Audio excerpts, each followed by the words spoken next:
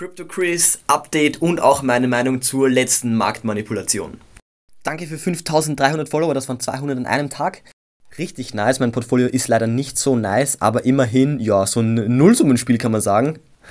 Ist schon ziemlich spät, ich habe bis jetzt noch an meinem Bericht gearbeitet, weil der muss jetzt raus. Und hier, hiermit komme ich auch zu der Erklärung, zu der Marktmanipulation.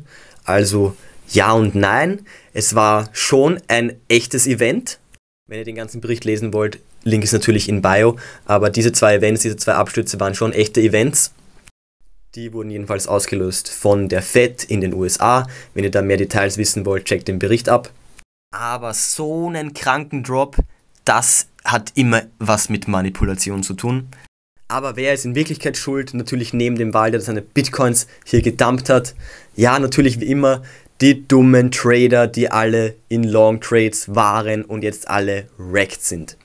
Das waren die Liquidations vom September, die waren schon richtig massiv, aber jetzt, also gestern, 2 Billionen liquidierte Trades.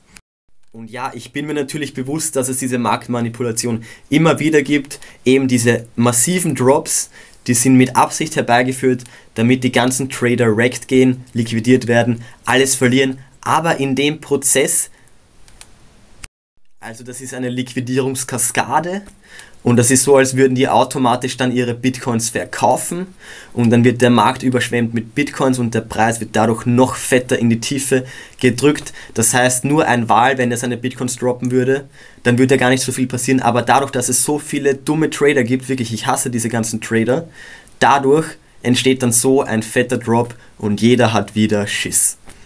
Wie ich schon im letzten Update gesagt habe, ich lasse mich dadurch zum Beispiel überhaupt nicht beirren. Es ist einfach ein Ding, das nach zwei Wochen hat das sowieso wieder jeder vergessen.